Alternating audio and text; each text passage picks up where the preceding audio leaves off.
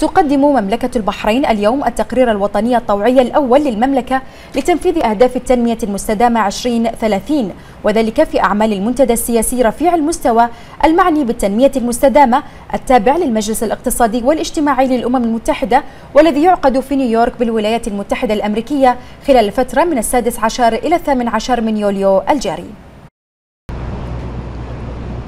تشارك مملكة البحرين اليوم في أعمال المنتدى السياسي رفيع المستوى المعني بالتنمية المستدامة التابع للمجلس الاقتصادي والاجتماعي للأمم المتحدة والذي يعقد في نيويورك بالولايات المتحدة الأمريكية خلال الفترة من السادس عشر إلى الثامن عشر من يوليو الجاري حيث يترأس وفد مملكة البحرين السيد محمد بن إبراهيم المطوع وزير شؤون مجلس الوزراء وبمشاركة عدد من المسؤولين بالمملكة. ومن المقرر أن يقدم رئيس الوفد الوزير محمد المطوع خلال جلسات المنتدى التقرير الوطني الطوعي الأول للمملكة لتنفيذ أهداف التنمية المستدامة 2030 والذي يتضمن استعراضا لما أنجزته مملكة البحرين في مجال التنمية المستدامة وجهودها لمواءمة ودمج أهداف التنمية المستدامة في برنامج عمل الحكومة. كما ستشهد مشاركة مملكة البحرين في المنتدى تقديم ثلاث ورش عمل لتسليط الضوء على قصص النجاح التي حققتها المملكة في مجال التنمية المستدامة والتجارب التي يمكن أن تقدمها للمجتمع الدولي حيث تتناول الورش الثلاث إنجازات وزارة الإسكان في مجال توفير السكن الملائم للمواطنين من خلال عدة خيارات متنوعة إضافة إلى ما حققته كل من هيئة تنظيم سوق العمل وصندوق العمل تمكين من منجزات على صعيد إصلاح سوق العمل ودعم العمالة الوطنية.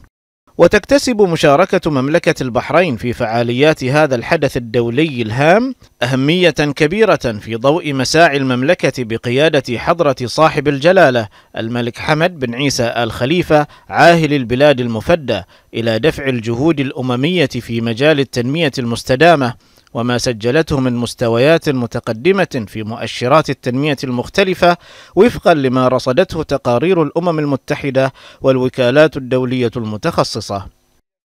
وتولي حكومة مملكة البحرين برئاسة صاحب السمو الملكي الأمير خليفة بن سلمان آل خليفة رئيس الوزراء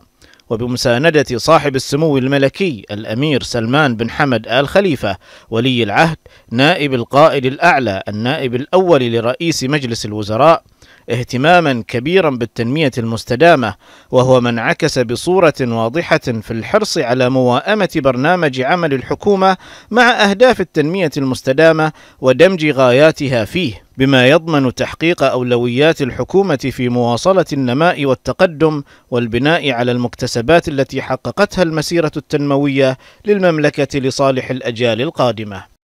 ومن هذا المنطلق فإن تقديم التقرير الطوعي الأول للمملكة لتنفيذ أهداف التنمية المستدامة 2030 سيشكل فرصة ليس فقط لتنشيط الضوء على ما حققته المملكة من إنجازات، وإنما سيقدم البحرين كنموذج عالمي يخدم المجتمع الدولي في تحقيق أهداف التنمية المستدامة. بما لديها من قصص نجاح وخبرات كثيرة وإنجازات على أرض الواقع في مجال التنمية المستدامة ساهمت في تعزيز المسيرة التنموية للمملكة من خلال برامج عمل الحكومة.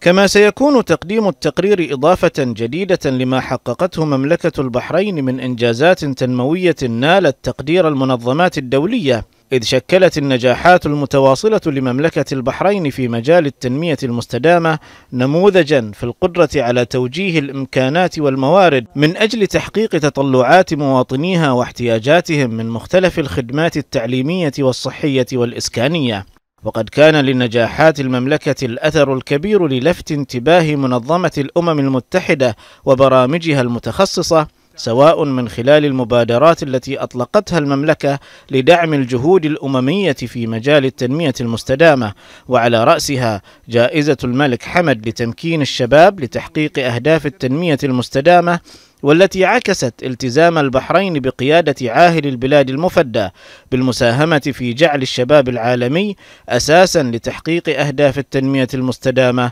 التي حددتها الأمم المتحدة. وكذلك جائزة اليونسكو الملك حمد بن عيسى آل خليفة لاستخدام تكنولوجيا المعلومات والاتصال في مجال التعليم والتي جاءت في إطار الأهداف الاستراتيجية لليونسكو في مجال التعليم.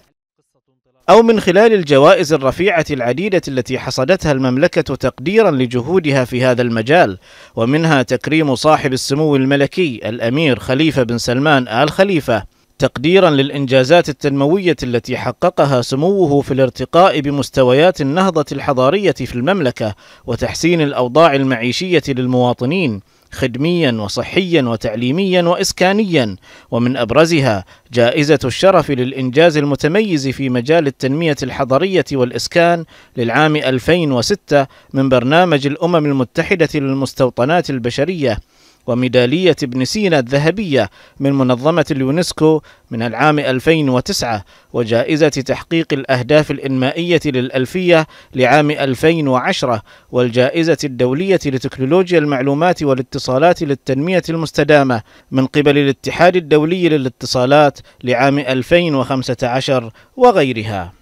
وبالتالي فإنه ينتظر أن يكون تقديم مملكة البحرين لتقريرها الطوعي الأول لتنفيذ أهداف التنمية المستدامة 2030 بمثابة شهادة أممية جديدة على أهمية الدور المحوري الذي تطلع به المملكة في دعم الجهود الأممية في مجال التنمية المستدامة عبر حشد جهود كافة دول العالم لتحمل مسؤوليتها في تنفيذ الأهداف السبعة عشر الجديدة للتنمية المستدامة باعتبارها اهدافا شاملة وطموحه في تحقيق التوازن بين الأبعاد الثلاثة للتنمية المستدامة من أجل إحداث التغيير الإيجابي المأمول في حياة البشر.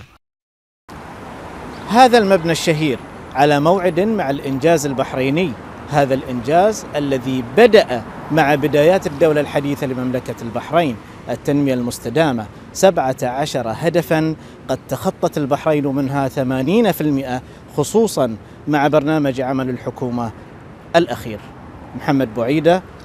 لمركز الأخبار من نيويورك تلفزيون البحرين.